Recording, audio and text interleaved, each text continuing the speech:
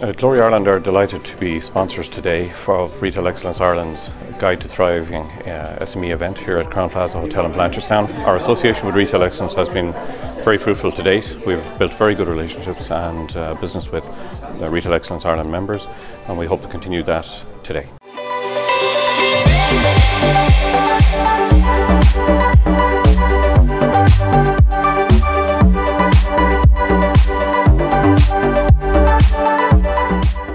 Hi, my name is Lambert de Bie. I'm a florist from Kilkenny and Waterford. It's great to be here at the Retail Excellence event today uh, for SMEs. Just after lunch now and really enjoyed the morning session. Can't wait for what we'll be hearing later on this afternoon. Really enjoyed uh, David's talk about all the common sense and where we're all going with retail. Thrilled to be here. Uh, we're about halfway through and already we're learning so much.